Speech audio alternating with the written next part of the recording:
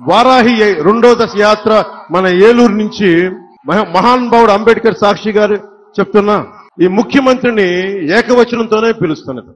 మీ విఘ్నత చంద్రబాబు నాయుడు గారికి కాళ్ళు మొక్కండి ఆయన్ని నెత్తి మీద పెట్టుకోండి ఆయన్ని సార్ అయ్యా దొర అని పిలుచుకోండి మాకేం అభ్యంతరం లేదు. జగన్మోహన్ రెడ్డి గారిని మీరు ఏకవచనంతో మాట్లాడితే మీ ఇంటికాంచి మా ఇల్లు ఎంత దూరం మా ఇంటికాంచి మీ ఇల్లు అంతే దూరం పవన్ కళ్యాణ్ గారు.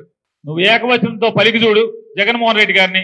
నిన్ను ఏకవచనంతోనా ద్వివచనంతోనా త్రివచనంతోనా ఏ వచనంతో పలకాలో ఆ వచనంతో మేము పలకటం ఖాయం. అట్టు పెడితే అట్టుకు రెండు అట్లు పెడతాం ఖాయం. పవన్ కళ్యాణ్ గారికి ఒక్కడికే నోరు లేదు. పవన్ కళ్యాణ్ గారికి ఒక్కడికే నాలుగు లేదు. వైఎస్ఆర్ కాంగ్రెస్ పార్టీ జెండా మోసే ప్రతి కార్యకర్త కూడా నాలుగుంది నోరుంది. అట్టుకు అట్టు పెడతాం అనేది ఖాయం. మళ్ళీ ద్వివచనం త్రివచనం అనిపించుకుంటారో మీ విజ్ఞతకి మీ ఇష్టానికి వదిలేస్తున్నాం.